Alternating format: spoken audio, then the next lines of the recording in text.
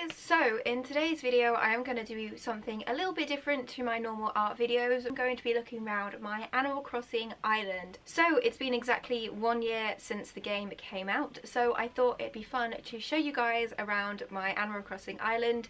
It's still very much not finished yet, there's a lot of stuff I need to do to it but I've kind of been taking it slow so I can enjoy the games and add in new items as they get added to the game. So the new update was just released today but I haven't currently got any of the Sanrio items in my game yet but that is something I definitely want to add in the future um, because they're just so cute um, and they fit in quite well with my theme of my island. So my island is called Roseberry. Um, this is my little character. Um, she's called Polly. I just gave her my own name. As you can see she's wearing a strawberry dress.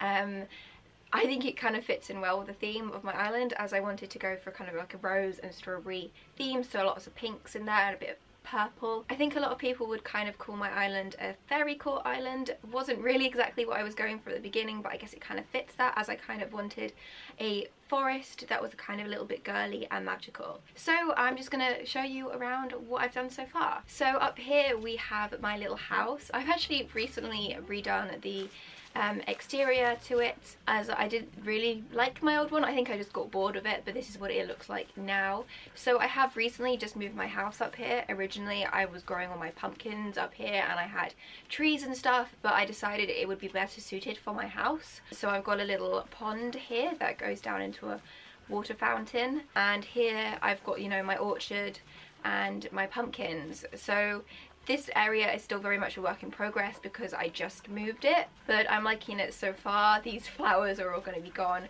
but you can kind of get the idea of the like layout and stuff. Um, these bushes are kind of just temporarily just shoved there because I moved them to somewhere else. So this little bit here will, at some point, you'll be able to properly work through it, walk through it, but um, I'll come to that in a minute. Here we've got Little Red's beach. Um, again, still very much a work in progress. A lot of this back at the back is, but here we have my first first few houses I kind of wanted it to be a little bit overgrown um, and make it look like it was like deep in the forest. So we've got like the little animals houses here some little footballs outside for them to play. Oh and there's Goldie. Watering my plants for me. Little pond. So this area again I think I'm probably going to change. I've changed this bit quite a few times. Um, I kind of like the idea of having an outside library space especially since we've got you know the little mini library um, decor over there like this little cupboard thing. I think that's really cute and I really want to include that in my island somewhere. So I've kind of been moving this area around a lot but I think I actually want to put um, a ramp going up towards my house here at some point just because I feel like that's a better placement for it and I'll move that somewhere else. Um, I have actually changed quite a lot of this recently over the last few weeks. In fact I've moved my, my museum and my house um, and I'm probably going to move the campsite as well. I'm not so sure on that.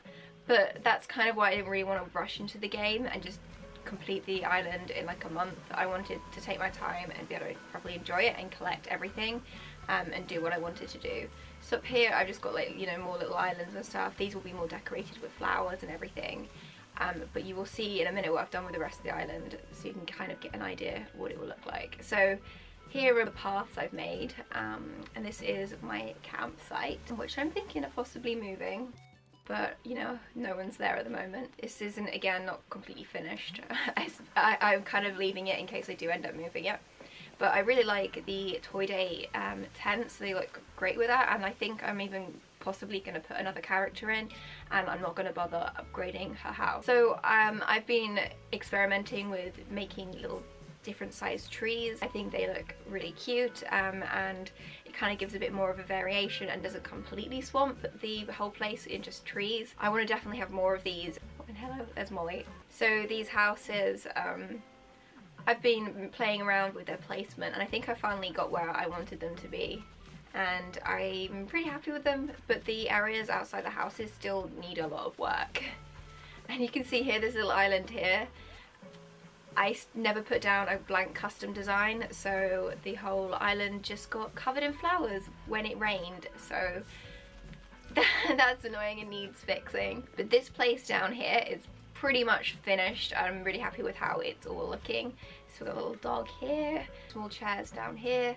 As you can see I really want to kind of play with this magical theme with these little star clocks and the mushrooms. There's something I definitely want to put more around my island and the butterflies as well but um yeah it's really hard to get the butterfly models. For some reason I always seem to miss Flick on my island so I've kind of not got that many but you know I'll get there eventually. I really love this green grass at the moment. I kind of got a bit bored of Animal Crossing during the winter because the snow even though it's fun to make snowmen and stuff it's just not quite as pretty if you get what I mean. Like I really like the, how the how the green grass makes my island look where the snow kind of made it look a bit more boring and it just wasn't as exciting for me to play.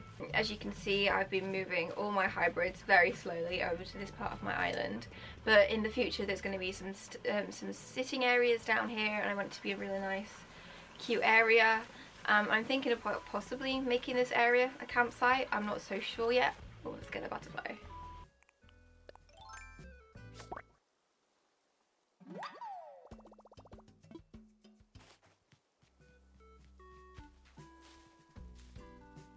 I am still changing a lot of stuff because when new items get added and things I prefer like different items in different places and stuff so I do keep moving stuff around but you know that's the point of the game you know I don't think my island's ever going to be completely finished I'm just going to keep moving and changing things around. I think these are probably one of my favourite areas um, down around here by my town hall. I've got lots of these little islands with secret pathways that you can just you know walk down um, this is where my house used to be. I think I'm to get rid of most of this. Um, we'll see. and here is my entrance so you come straight up to my entrance here this is probably one of my favorite parts of the island i just think it's really nice that you just walk off the boat and you just walk into this little area here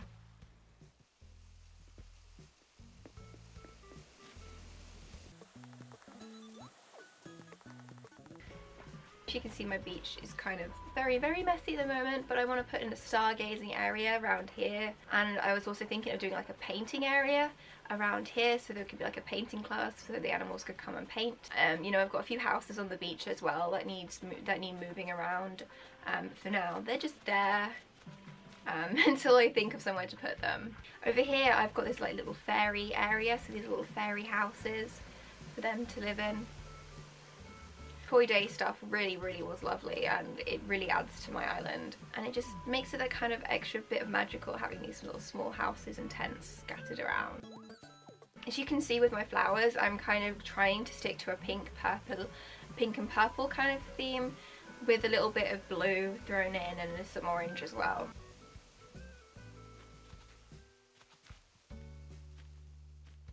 These paths I did make myself and they took me quite a long time. It took me a good good week or so to get them all down properly and you know um, designed correctly as well to make sure they joined correctly and they looked good um, but I'm really happy with how they turned out. So this area around here is my shopping area. You just come down here, little dog again from Toy Day. They're so cute. Everything they did for Toy Day was really cute. Then you come here, you obviously got Tom Nooks. You can have a drink over here and sit down and kind of just watch what's going on. Obviously, I had, as I'm going with strawberry themed, I had to pick this strawberry chair that had to go out. I really like how the vending machines look. They're quite weird for my island like they don't really match that well because of the woodland themed I'm going for but I actually think they do work quite well there and they fit in well um, with the fact that it's kind of like the shopping area of the island. They kind of stand out, they don't look like they should be there but they still fit in quite well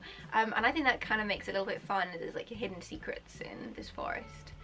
And then here we've got the Able sisters and then we come down here we've got a little picnic. Play ukulele, you know.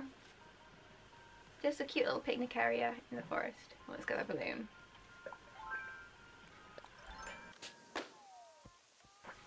Anything good?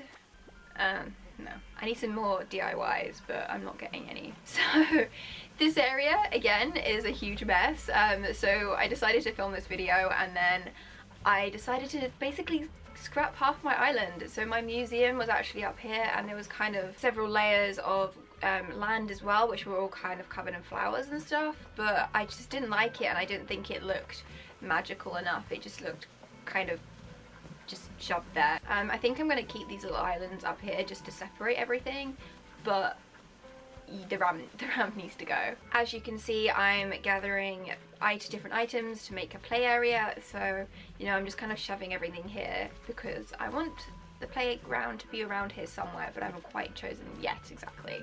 Um, my museum has temporarily been shoved over here, but I do want it to go down here. So I want it to be like around here. I think that would be nice and I could put lots of trees around it and mushrooms and make it look like it's hidden more in the forest. My big pond is probably one of my favourite things about the island. It sounds silly but it's just nice having such a big area with water and you can kind of look at it when you're having the picnic. Um, the museum originally was in this area here so you couldn't walk up to it like this um, and I'm not sure if I'm going to keep it like that. I might put the um, cliffs back up but I don't know, maybe I can make a little fishing area. We'll see. My beach is pretty, pretty messy really. I've kind of just dumped all my flowers on there. I had an issue last spring where all of a sudden, you know, it started raining a lot and I was trying to get hybrids and then all of a sudden there was just hybrids everywhere and I just couldn't keep it under control because it takes so long to dig all the flowers up. So yeah, there, there is a lot of flowers. Um, I might sell them to someone in the future, but you know, I want to keep some of them. So at the moment, my beaches are probably going to be one of the last things I do just because of how messy they are. Um, but we'll see. Um, one of the things that removing the museum did was open up so much more land because I used to have a cliff that went all the way down here and then the museum was on this area. Then there was like a pavement area right outside the museum with a fountain on, on everything. But I think this just opens up so much more and it's just gonna give it make the island seem a bit bigger i've been to so many dream islands at the moment and every time i go to them i always feel like my island's really really small in comparison um, so I kind of wanted to make it a little bit more open. So here I want a little fishing area for the sea. I want to collect everything that you can get from um, the fishing events and that will be put here. As you can see I've already kind of started collecting stuff. So yeah, it's very much a work in progress still. Um, I probably should have filmed this video before I moved the museum, just so you could see what it looked like before I did, but um, I've definitely done a lot, like in this part, front part here, there's a lot I've done. You know, I've done finished the shopping area and the first row of houses. Um, it is coming along quite slowly, but I'm, I, like I said, I want to take my time with it, so I'm not just rushing into it and finishing it as quick as possible. Because, you know, if new gay stuff comes out, I don't really want to be tearing parts of my island apart when I've spent so much time of it on it, so I kind of want to make sure I think about where I put stuff. Like, at one point, I'd had a area here where I put all my um, materials and stuff. It was just very useless to me. It was just more practical just to keep everything in my house instead of being outside. Um, so I got rid of that. So that's one thing that's that's gone that I probably won't bring back to my island. It's slowly coming along, but you know, I'm happy with it, how it's coming so far and um, I'm just kind of experimenting with what you can do and what you can change. And recently Nintendo have announced with the new update which I think probably already can do do it um, you can add in more designs. So, so that's going to be really useful because there's so much more I want to do with designs and things that you know I'm kind of restricted to doing because all my design slots are currently full. Like I've used literally everything. So my house is a complete mess. This is the last thing I'm going to show you. I'm going to end it on a like kind of a bad note. Um, I mean it's not awful. I've kind of got, okay, yeah, no, it's pretty bad. I've kind of got a plan to it, so I'll talk you through that. So this is going to be my living room. The whole thing needs completely ripping up and starting again. It's a mess. I've dumped DIYs here that I don't need, so these are rare ones that are hard to get hold of. So like I've got the mush DIYs and stuff. These are ones I've already got, but I need to do something with them, give them to a friend or sell them online or something. I don't know what I'm going to do with them, trade them or something but you know I, I don't want to sell them to Nook because they are kind of rare and hard to get hold of. So this is going to be a kitchen. I kind of wanted to go for a pink sort of diner style. Um, I don't think I've been in this room for about nine months probably. I've barely done anything to it. Um, any of the house really. I don't know why. In, in New Leaf I did a lot in the house but I just feel like because there's so much stuff you can do outside that I've not bothered touching it um, in the inside as much. I'm not sure. I mean, my New Leaf town was very decorated as well, but I think I just had more time to spend on stuff because I was younger as well. So this room is going to be a star themed room. So I've already got the wallpaper I want to use. It's the star star moving wallpaper stuff that you can get. The animated one and I think that will look great in this room and I kind of want to use all of Celeste's star items in this room as well. Again I've still got to collect a lot of them so the room's pretty empty for the minute. So this room you know it's going to be the bathroom eventually. Then upstairs the upstairs I think I'm almost done with it actually. It's probably one of the only rooms that um, I'm kind of done with. Um, yeah okay I've dumped the dream bed right there. Still got to find a place for the mirror and the jewellery stand, but you know, it's kind of coming along pretty well and it's one of my most finished rooms. I really like this wallpaper. I think it's so pretty and I don't think I've seen that many people using it. So I, you know, I definitely think it's different and it works really well in this room and the flooring matches quite nicely as well. So this is going to be my art studio room and YouTube room. So, you know, I've got a little area here to film YouTube videos and I kind of want it to make, you know, my own Animal Crossing studio so my little character can make videos herself and art and stuff. I've just been kind of collecting stuff and dumping it down here. I feel like there's a lack of great furniture in this game, like there's some really cute stuff, but I just need some really basic IKEA-like furniture, if that makes sense. Sometimes it's too cute or too decorative or too themed to really fit in my house or what I want for it. So it would be nice just to see some really simple basic stuff, but I don't know if that would really would happen. Um, I'm not sure if they'll add much more furniture into the game now, but you know, we can see. You know, look, I've even still got my Christmas decorations up. Like, that's not... Yeah, Alright, so yeah, that was my little island tour. It's still very, very much not finished. Um, I know I've seen so many videos of amazing islands, but you know, um, I was working through coronavirus. I think a lot of people weren't working, whereas I was. Um, when Animal Crossing first came out, my shop suddenly blew up and I, I lost my original job and then I started a new job. So, you know, I had a lot going on when the game first came out. I, I played a lot of hours in the first first month or so, but it kind of got harder and harder to play as I had more stuff going on. So I probably play like four or five hours a week now, maybe max. Sometimes even less than that. Sometimes I don't play at all. Um, so I've just been like doing bits and pieces when I can, um, and you know, slowly getting getting on with it as I can.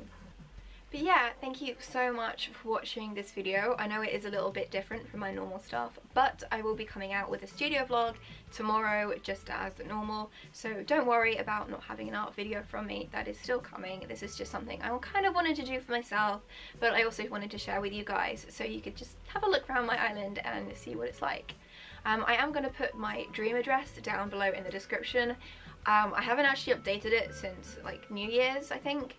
So it's there's a lot of stuff that's very different to what you're seeing today. You know, it's before I moved the museum and stuff around, and I think even my house, so there is a lot of stuff that has changed. Um, but, you know, it'll be fun to look around that, and I did save it when it was in a really pretty sunset kind of time, and it looked really, really nice. So if you want to go and see that, you can go and check it out in below in the description.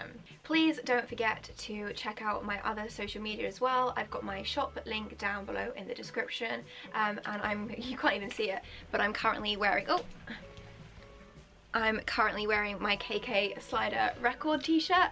Um, this is available on my shop, which is linked down below. Um, plus my Instagram um, and Twitter, Facebook and all that kind of stuff is down there too, as well as my Patreon if you want to support me, um, make more great content for you guys. Um, and you can also sign up to get uh, a monthly postcard and sticker set sent directly to your house. Um, all the information for that is on my Patreon. If you like this video, please give it a big thumbs up and don't forget to hit that subscribe button and the notification bell. Thank you again for watching and I will see you next time, which will hopefully be tomorrow. We'll see. Bye!